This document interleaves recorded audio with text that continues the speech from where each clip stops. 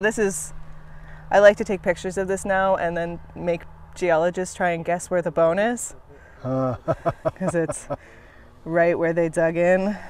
Um, that's probably what this stuff is from too, is it's weathering out. So you're not the first to realize there's some vertebrate fossils No, here. no, So I am not. This, this is the Burke Museum going back how many decades? I think, so I think it was one expedition as far as I can tell that Okay. was in the late 90s, early 2000s. Oh, really? Yeah, so they came out, they collected a fair amount of stuff actually from it's pretty complete. We have uh, a whole bunch of like there's a big full deer antler, there's uh, a fractured saber-toothed cat tooth, there's what might be an elephant scapula, elephant meaning mammoth, not like Got it. modern elephant. Yeah. So they collected a whole bunch of stuff, but as you can see, it's super fun and not at all awkward to come out and collect here on this vertical wall. yeah, yeah. Well, that's that's part of the game. But I Right, mean, yeah. so you were tipped off to this. So that's your, this is your specialty. Are you? Would you call yourself a vertebra, vertebrate paleontologist? Yes, I'm a I'm a vertebrate paleontologist. I like uh, Cenozoic stuff. I would say probably my specialty is a little bit deeper in time. Okay. I really like more like Oligocene, Miocene stuff. So once you get up into like multiple millions of years old. But uh, there's so much Pleistocene stuff out around here that I just keep getting called out for it. So Mm. Okay. So who tipped you off to this as a potential Pleistocene uh, vertebrate spot? So this spot got tipped off to me by a middle school teacher in Yakima who uh, is a big geology buff, and he came out and basically found an entire horse leg sticking out of the wall. Uh, and yeah, he called me up because I was working at Central at the time, and I came out, and sure enough, yep, that is. I get a lot of emails from people who say they have fossils and they're frequently chert, but this one was real, so that was very exciting. Huh. Yeah. And then we filed a permit and then got all this stuff and then also found out a whole bunch of other stuff had been collected. And that's why we're kind of keeping this location secret, except we're just saying in the Yakima River Canyon Yes. because this is a permitted thing. This is you're following the rules, etc. Yes. So you're hoping to continue with this spot, even though you're not really a Pleistocene person. Yep. Uh, I mean, I'm not really a Pleistocene person, but let me tell you who is extra not a Pleistocene person. Uh, this, the Cretaceous and Permian people at the Burke Museum. Okay. Um, so mostly I've been guilt tripped into this through Ah. uh, Greg Wilson and then also from Sion who wants to do some paleontology. Uh, he's, I just pointed up because uh, they're up there. He's so, in heaven. That's yeah. right. Uh, he's an undergrad here at Central. Good. Yeah, they are, And yeah. so uh, you're not you're no longer at Central. Which university are you affiliated with? I am also still a Wildcat now because I'm at University of Arizona, which is also the Wildcats. Got to stay yeah. on brand. That's right. Yeah, slightly bigger Wildcat, I think. A little, little less goofy. Yeah. Well, I'd love to go up a little. If there's something else to look at up Yeah. high, I'll just keep the framing nice and tight here and just kind of follow you. you Sounds don't mind. good. Yeah. I'll put these shards right there. And while we're walking, what what what what time frame is your your wheelhouse? Um, so I would say my wheelhouse is. I really like the stuff between about 45 to 15 million. Um, Oh, And that's because I work mostly on a specific animal Uh-huh. called an Oreodont, which was like the most common, like legitimately the most common animal in North America for millions of years. And it's completely dead now, and there's no descendants whatsoever. So, yeah. Okay. okay. I'm tight on both of you guys. What, what's what's going? What's, Cy- Sion, what are you doing over there? Um, What you got? So we found this exploded long bone. Um, Oh shit. yeah. Uh, I paraloided it together. Uh, here's just like a bag of the rest of the shards. Um, this is honestly how you find a lot of fossils. The most fossils you find are not nice and complete. Uh, I don't know what this is from, but If you hand me the bag. So Bree did find a little curl of, So- Whoa. which I realize if you don't really know very much about fossils, the fact that Sion just went, oh, is probably very confusing because this looks like a Yes. turd. But I'm, I'm confused. Yes, so you see how there's like a little bit of a ridge right here? So this Yeah. is the the surface of uh, like it's called an articulation surface, so it's a joint essentially. Oh. And while everybody has shards like this, if you broke down your bones, my bones, a horse's bone, we couldn't tell just from shards. When you have an articulation surface like this, sometimes you can tell. I don't know just looking at this, mm-hmm. but maybe when we glue it together, there might be something see, more there. I see. So Yeah. So if the we can put it fact these these things are all kind of disarticulated is that Mm-hmm. a clue to the depositional environment? It is a little bit, yeah. Oh, there we go. So the fact that this is exploding is probably more recent. It's probably something that has been weathering out and, you know, Uh-huh. it, it exploded on the surface. But uh, if you take a look at a lot of these bone chunks, um, so this one's not a good example. We do actually see signs of here. So this is this is the external surface of the bone, uh, and you can see it's kind of cracked and there's some flakes. Yeah. And probably with this one, it's kind of hard to say for sure that it's not modern because you can get similar stuff in modern environments. Mm-hmm. But when you look at this on like a whole specimen, which we do have some whole horse toes and some other things, uh, it says that it was sitting out in on the surface for quite some time These before it was covered. good- These have some good Teflon on the Oh, oven nice. too. Okay. A little smaller, but Yeah, a little smaller. Um, so what essentially all of this is is that it was sitting out on the surface for a while. The fact that we have like a whole, oh, I just broke a chunk of bone. we'll just put that back there. Sion can glue it together. Um, uh, it was sitting out on the surface for a while, and then eventually uh, it was uh, covered up, probably by I think it was probably near a river, and then got covered up. I see. Um, the fact that we have a whole leg uh, and actually quite a few relatively solid bones Yeah. um, does indicate that uh, they weren't dead for too long. So Hmm. uh, there might actually be something like a, a drought, essentially, that killed them. Um, I wouldn't go so far as to say this is like a death assemblage. Ah! Right, Everything dried up and died. Right. But uh, it's not regular accumulation like you would see if you walked across the canyon today. Yeah.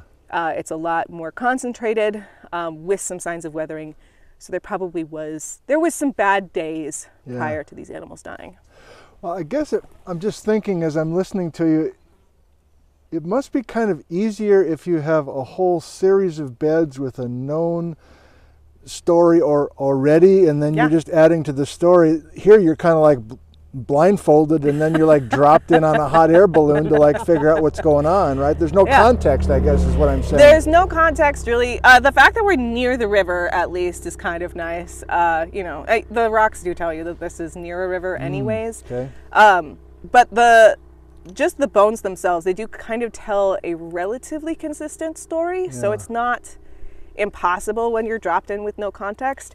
The hardest part when you're dropped in a place like this is what time period is it generally? Yes. um, because then you have to really like when we first came out here we thought it might be ellensburg. We thought it might be pliocene or even miocene uh, and then we found an antler from a deer.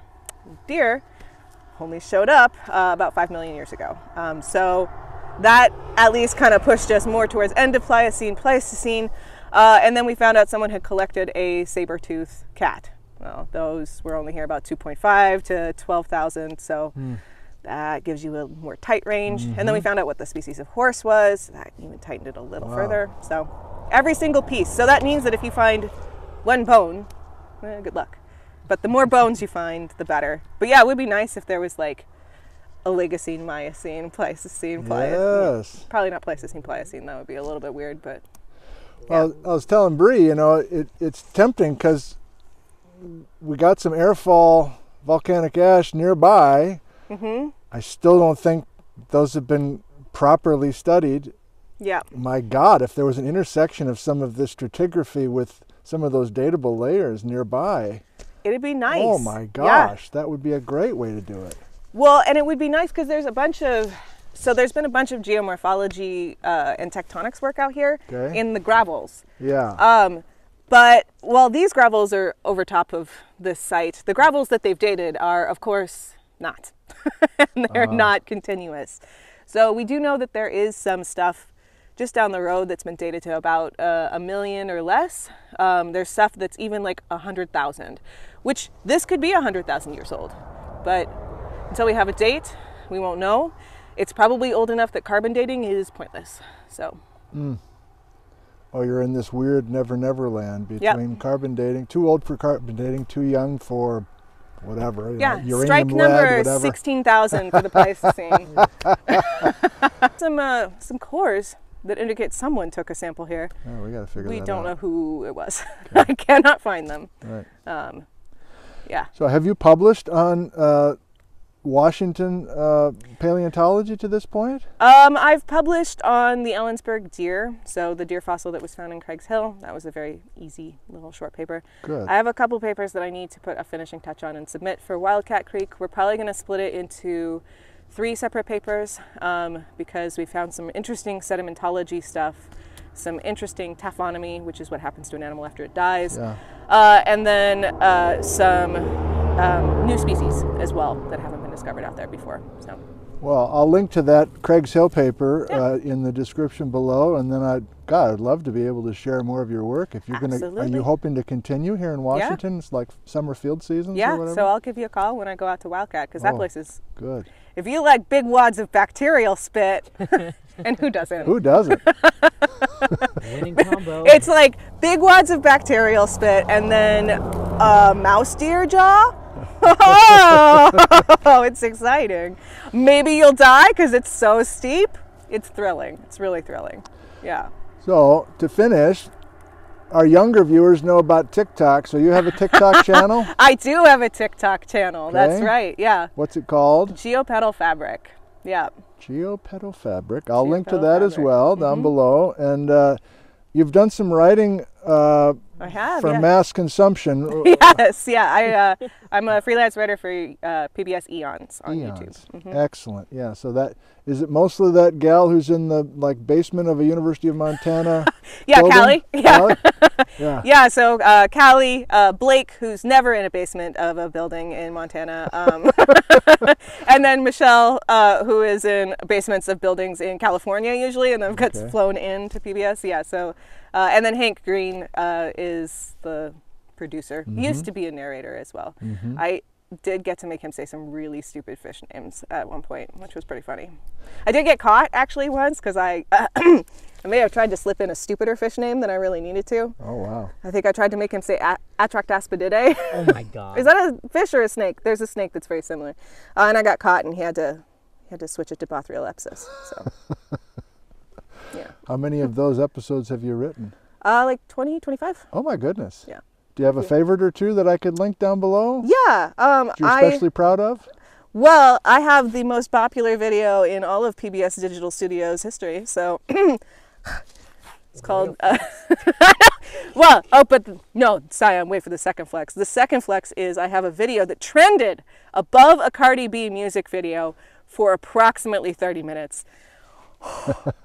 I'm gonna write that on my tombstone. Like, oh my god.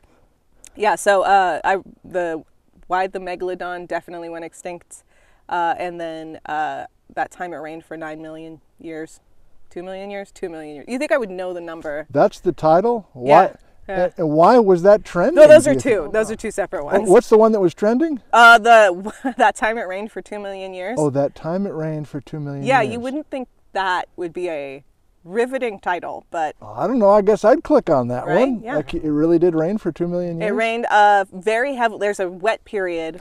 Um, it's called the, called the Carnian pluvial episode. Um, yeah, and it was uh, essentially the the reason we had dinosaurs uh, is because it rained out so many other things. Oh my God, I gotta go watch that one now. I gotta be uh, the. yeah, dinosaurs are created by rain, not like in a biblical sense, but in a evolutionary sense. So how how big is big with some of these wildcat uh, discoveries? Like as far as like physically, the bones or the. Physically, the bones. I've got a tortoise that's about this big. Uh, Really? Except, yeah, except it's in about 30,000 pieces that I'm slowly gluing together and complaining about. Um, yeah, Pedro found that. So it's Pedro's tortoise. And we've got, I think that's the biggest that we found. We've got a dog skull that's about this big. Uh, that's just the back of the skull, so we don't have any of the cool teeth. Um, we've got previous discoveries have been like partial Oreodont skulls. So like an Oreodont is kind of pig-sized, so about like half of a pig skull essentially has been some of the bigger stuff. But and that's your baby. The that's my baby. Yeah, okay, that's my right. baby. Yeah. Wow. Okay. Yeah. And that's also kind of a top secret spot. Yeah, I mean it's not top I mean- top secret. Uh, you know, it's with all of these sites and with archaeological sites, I just don't give away coordinates and we say the general region, but it's not. Yeah, here it's a little bit easier to find the fossils. Yes. they're bigger, they're a little prettier. Right. Wildcat Creek if you find a fossil. Wow, that's pretty exciting. Yes. So Yeah. I'm a little bit less worried even about there because it's very dangerous to get to um, and very hard to find stuff. Yeah. Yeah. Yeah. We'd have to get somebody to raft us over or something, but that's not. I, I could probably help with that. yeah, I figure there's a lot of people who. I think so. Yeah, Raft people for are just potential dying fossils. to help any way they can. Yeah.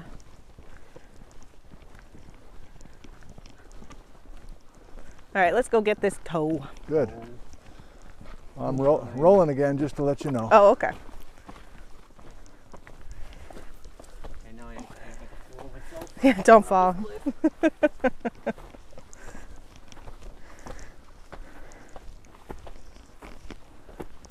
yeah, Wildcat is very similar uh, in steepness, except the consequences of falling are Higher. way higher. That's a root.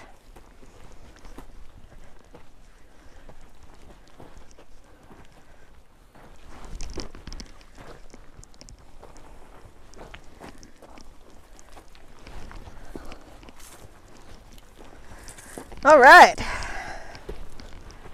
Toe. Toe.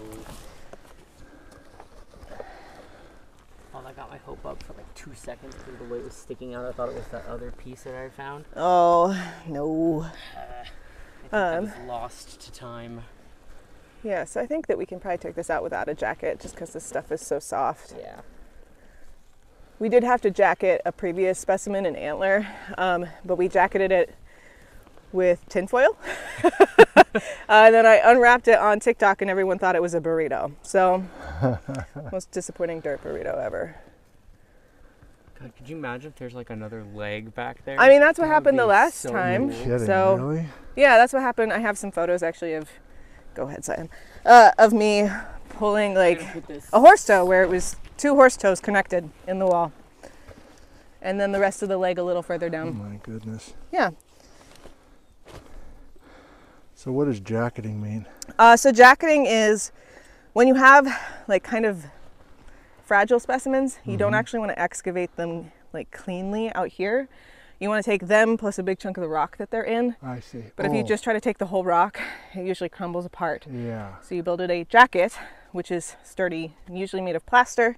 But in this case, it wasn't that fragile, so we made it out of uh, teepee and uh, and aluminum foil. So yeah, it did look like a burrito, uh, other than the fact that it was full of dirt. Sorry, I should have blown that the other way. I'm sorry. This is great. God, you came here to Central Washington University, Sion, and here you are. You're pulling, you're I think- pulling bones out of a cliff. Yeah, you should probably do like a close pull up, and then you can blow sand in your face, Oh, and yeah. it'll be Oh, really dramatic. This can be like. there it is. I'm gonna film you too, Sion. We're gonna be TikTok You got- famous. all possible Paparazzi angles. now. So, what are your bets on what this toe is, Sion? We got Equus simplicidens coming out our ears, so Yeah, I bet Equus simplicidens, but it could also be a pronghorn. Could be a It pronghorn. could actually be a deer for one. It could actually be a deer. It's so skinny. I'm gonna veto Equus simplicidens. Yeah, they have fat yeah, little yeah, nugget that is pretty- toes. Yeah. Is that another antelope type? Uh, Equus is uh, the horse. Horse. Oh, yeah, yeah, so common names. Horse toes Oh, have like of fat. course. they're- Equa. They only it. have the one toe, so they're fat toes. Okay. Yep. Uh, but then the other things that we found out here is we found some deer. Uh, we found what we thought was a deer toe. Turns out to maybe be pronghorn toe. Um, but we could also have we could also have bighorn sheep out here. Uh, so it could be that. We could also have camels and llamas. So it could be that. Just depends on how long it is when we get it out of the wall. So, Could be a bear. Jeez. Yeah. I don't know. Doesn't got a carnivore look to it, but it could. I mean, I don't know from this angle.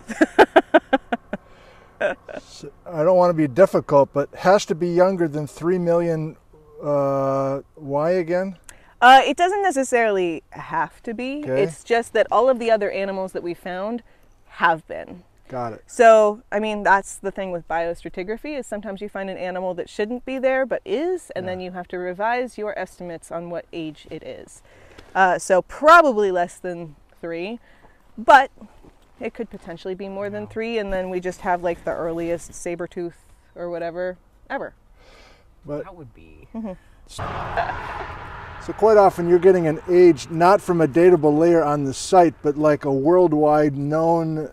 Uh, Yes. Here's the age range we know from worldwide examples.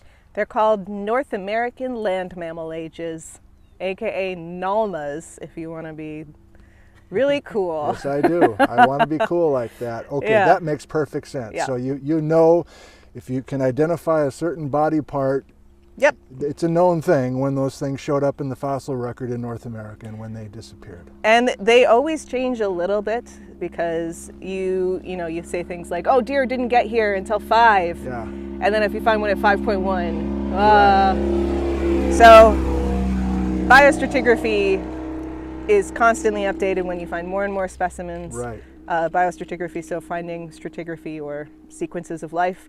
And then anytime you get a date in there, that's really great. Yes. A, it nails down your biostratigraphy, and B, uh, it's a lot tighter of a number than biostratigraphy. Biostratigraphy is often like, ah, it's between 25 and 35 million Sure. years old Sure. which is helpful. Yeah. It's not 500 million, Right. but it's not as good as a nice date can be.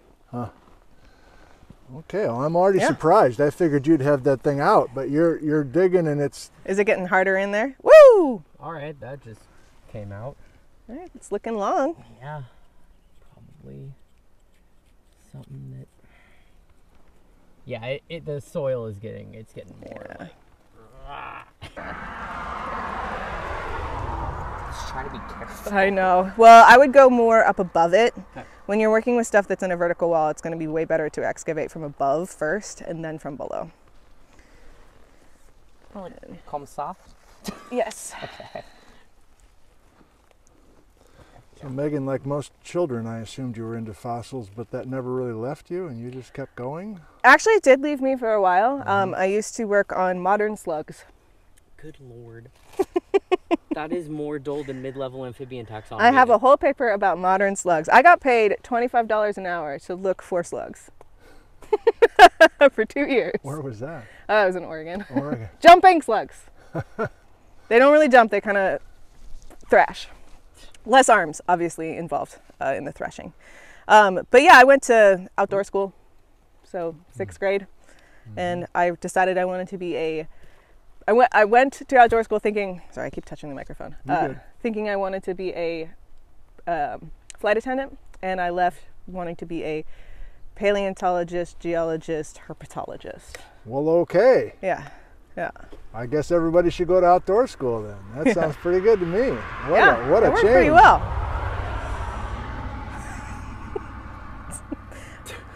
That's just, I'm not even to I'm the back gonna- of the. I'm pretty sure I know what type of toe this is. So Yeah. I'm gonna go a little closer. I can feel it wiggling actually. So. Okay, sweet. I am just overly cautious. Yep, that's fair. Well, you also study. Oh, see, it's wiggling a little bit. Yeah. You don't want to pull it straight out of the wall, of course, because then you leave half of it in the wall. I know. the things I study are much older and more fragile. That's true. So this is still a toe, or are we into something that's connected to the toe at this point? We've definitely got a toe. Whether or not there's another toe behind it, there the connective tissue that would hold it together in life definitely will not be there anymore. Right. So when we pull it out, we'll dig back a little bit just to make sure that there's nothing deeper. Oh. Ah ha ha! Here, It's it's, It's okay. paleontology. It Yeah. happens. We have glue. that's not bad actually. That's actually kind of yeah. You, can- you can see the that's my bee. Yeah, Okay, that actually the preservation of the that is internal some structure beautiful is internal structure. gorgeous. Yeah. You wanna hold it? Thank you. Okay, Um, yeah, now I have anxiety. Yep, I got it. Yeah. um, can I scoot past you? It's okay to lose a little bit of that cortical bone. We can't glue it back anyways. Yeah. God, that internal structure is gorgeous though. I was not expecting to look that nice based on the outside. Wow. And I'll put some on this side too. So this is uh, reversible glue, Mm. which is important because if you glue it together incorrectly, that can be bad. Yeah. But this is really loose glue called consolidant. Penetrates the specimen, holding it together from the inside. Which obviously the rock didn't do very well. Yeah. um, and I think probably we should let that set for a little Yeah. bit, and then we'll finish the rest of it. That is a rock. I think it's a rock, yeah. Yeah, it's a rock. Yeah. All right. Thank you guys. I really Yeah. appreciate it. No problem. Plenty, lots of distraction here Yes. that I provided. So appreciate it. Thank Yeah. you. No problem. Can I take a TikTok of you trying to dig up a specimen over there while we wait for this glue to set? Sure. All right.